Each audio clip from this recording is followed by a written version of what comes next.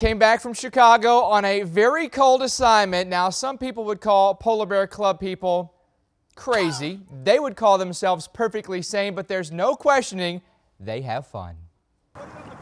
Staring out onto a frozen Lake Michigan, it's hard to imagine why anyone would consider jumping in.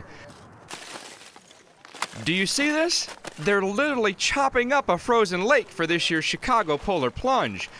More on my first attempt in just a minute. But why do they come?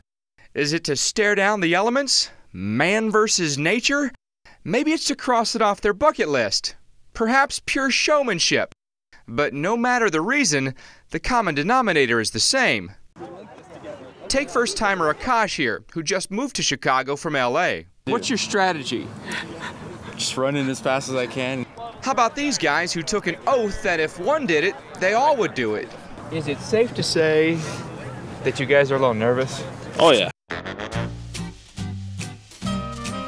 People have been taking the polar plunge for decades, starting in 1903 in Coney Island, New York. The original plungers thought a jump into the ocean during winter would give a boost to one's stamina, virility, and immunity. Since then, hundreds of polar bear clubs have popped up. If you're jumping in, make sure to head to the registration table. Including the Lakeview Polar Bear Club in Chicago. Dry off your head, put warm up your feet as soon as you can. Brian Marshall is one of the club's organizers. He's been coming out to Oak Street Beach here for the past nine years, and he offered me this piece of advice. I typically try to stay in for a minute. Okay. But if you're in for 30 seconds, That's good? That's good. Okay. Like, go in, dive under, kind of stand there and take it in, and then you can just kind of casually walk out.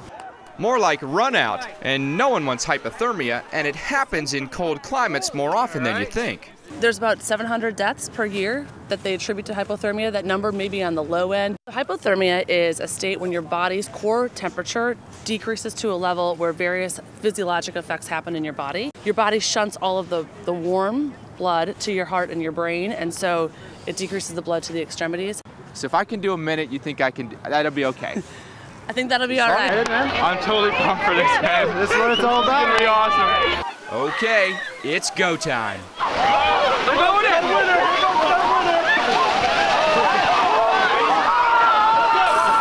Within a minute, everything goes numb toes, legs, head, everything.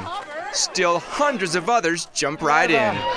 You proved yourself a worthy polar bear, so we wanted to give you the polar bear bathrobe with our Lakeview Polar Bear Club logo on it. And this will keep me warm, right? This will keep you All warm. right.